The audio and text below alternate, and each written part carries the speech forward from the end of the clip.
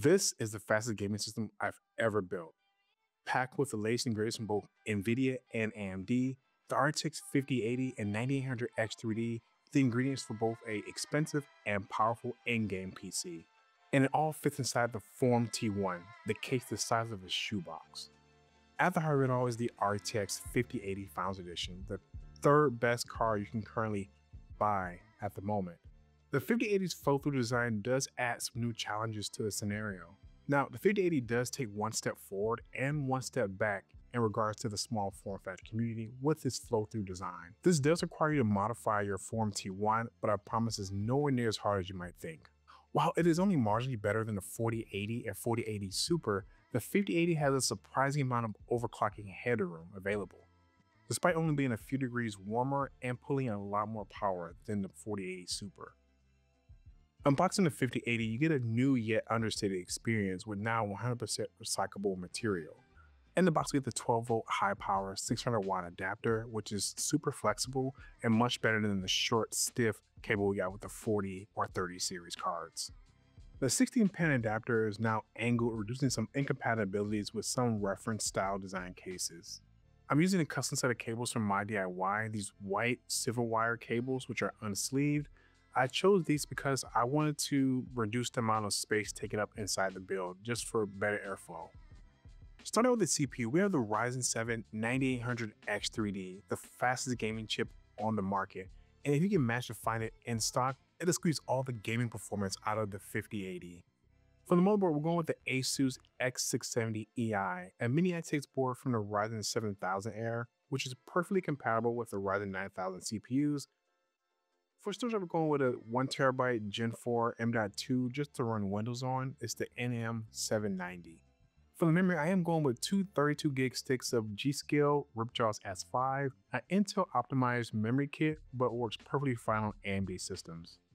To cool the 9800X3D, I went with the Thermalright AXP90 X47 Full Copper, a great affordable option if you're doing a gaming focused build. Since I will be prioritizing low noise, I'm swapping out the stock fan for the Noctua NF A9 14mm 92mm fan. For the power supply, I am using the Corsair SF750 80 plus Platinum modular power supply. I haven't gone with a newer ATX 3.0 or 3.1 power supply, but this should do just fine for this build.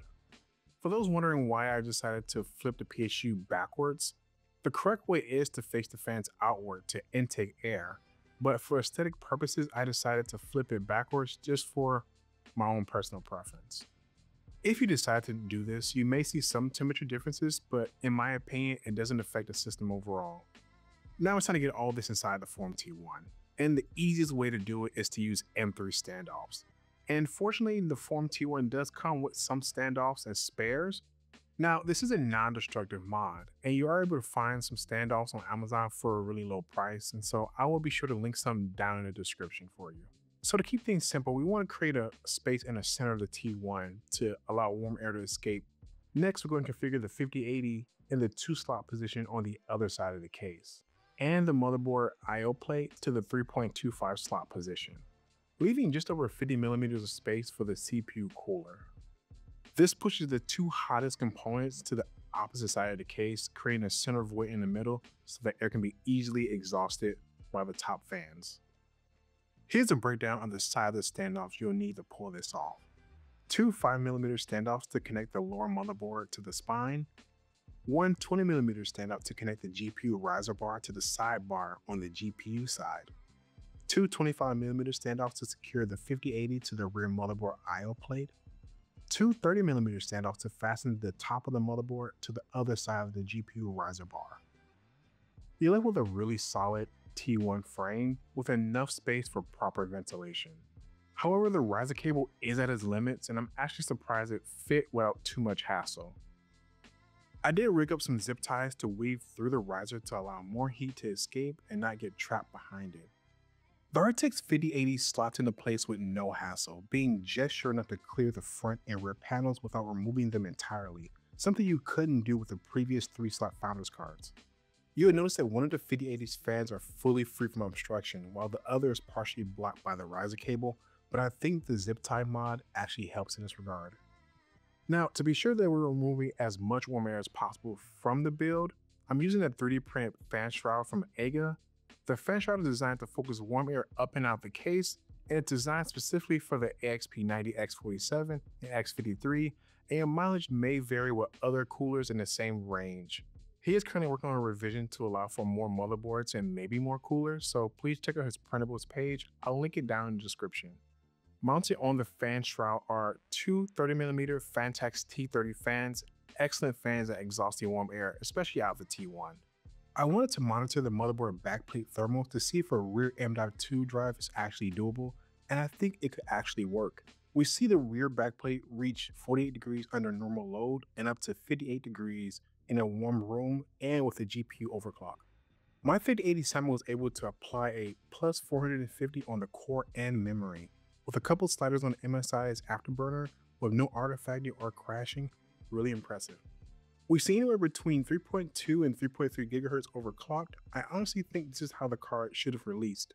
Using DLSS 4 with a performance preset, graphics settings fully maxed out with path tracing enabled and no frame gen, we see the 5080 remains as cool as the 4080 Super at 63 degrees, and decent thermals on the CPU when gaming. The 4080 Super gets 52 frames, while the 5080 has a 10% improvement at 58 frames. The 5080 overclock manages to squeeze an additional 10%, a 20% improvement over the 4080 Super. We do see a GPU power increase over the 4080 Super by as much as 20%. Really impressive seeing that thermals barely changed. In Time Spy, we see a similar trend with the 5080 overclock scoring 24% over the stock 4080 Super. The thermals are also very similar with the gap widening a bit on the overclock 5080. All tests were noise normalized at 42 decibels and peaked at 52 decibels with the 5080 fans activated. Is it worth it to fit the RTX 5080 or 5090 inside the FormD T1? Like I mentioned before, the RTX 50 series is a step in the right direction and a step backwards at the same time.